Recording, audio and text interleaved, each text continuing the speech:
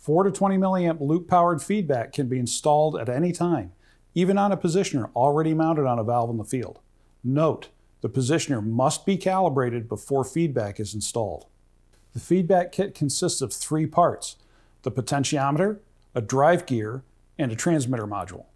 Start the installation by removing this indicator post. Then install a potentiometer by threading the mounting screw into the bottom of the housing. Check that the potentiometer is spring-loaded, like this.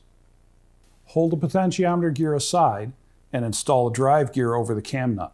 The locking screw should engage with this hole. There's a round socket in the bottom of the positioner housing.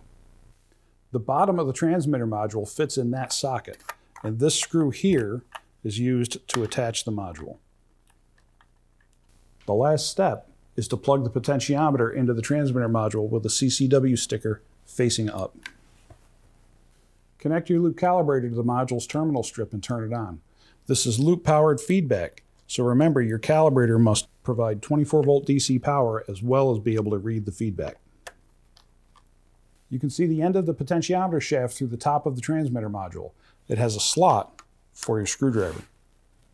With 4 milliamp signal on the positioner, turn the potentiometer until the feedback reads just below 4 milliamps. Now we use the zero trim potentiometer to fine tune the feedback to read 4 milliamps.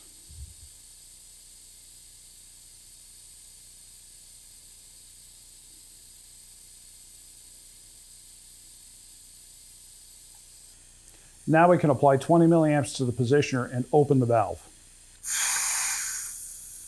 Use the span trim potentiometer to adjust the output to read 20 milliamps.